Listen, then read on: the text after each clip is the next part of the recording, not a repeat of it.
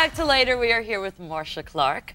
You know what I love? When What? I came out, you said, Oh, you look so beautiful. You see, this is the virtue of the trial. Having looked like complete dog food for a year and a half, you know what I mean? No makeup, horrible lights, exhausted. I mean, bags under my eyes like suitcases. And now, compared to that, you know, No, come on. You I'm look gorgeous. fabulous. What is the public's biggest misconception about you? I mean, don't so know. much has been written Yeah. about you. What Yeah. do you think? I think, I mean, if I had to guess, because I'm not really sure what the public's conception of me is, so I'm not sure what the biggest misconception could be. I think that I was grim. You know, I think that a perception was created because I was in court and it's a murder trial and it's serious, you know, and we don't go in and say, you know, I, I know you're out there, I can hear you breathing, you know, Right. ladies and germs. And you have to, you know, you can't tell knock knock jokes in the middle of a murder trial.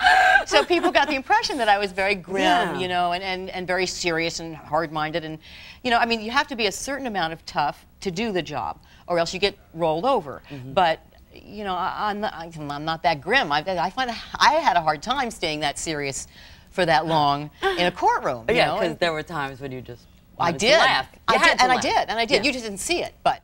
How do think it's different with you know celebrities than with? Uh, They get, they get, they get a pass. I mean, you know, they get a pass much more than any average person would. You know, I mean, even some, you know, get away with murder. You know, I mean, I didn't bring it up. I didn't mention it. I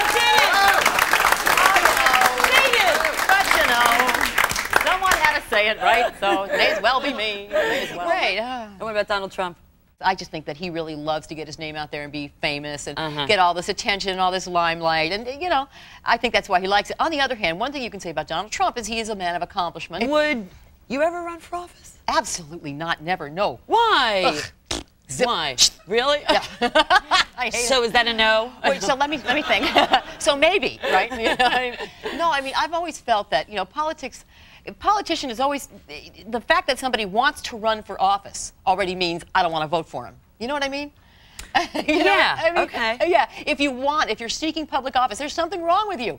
You know, just what they have to go through nowadays. You know, you go through their their personal lives are trashed. There is absolutely no privacy. If I think lack of privacy is a problem, even now or even during the trial, that's nothing compared to what a candidate goes through, and all the mudslinging and all the. uh, So people must have approached you about this and asked you about to They- run for office. Yeah. Yeah. It did, it, it did cross somebody's mind, not mine, but. Marcia, thank you so much for being here. This was so fabulous. It was a pleasure. Thank Thank you you for having so me. much. Thank Oh. you. My thanks to Marcia Clark. And if you didn't get a chance to read her book, it is called Without a Doubt, and it's in paperback, and it's fabulous. I am Lisa Amsterdam, and I'll catch you later.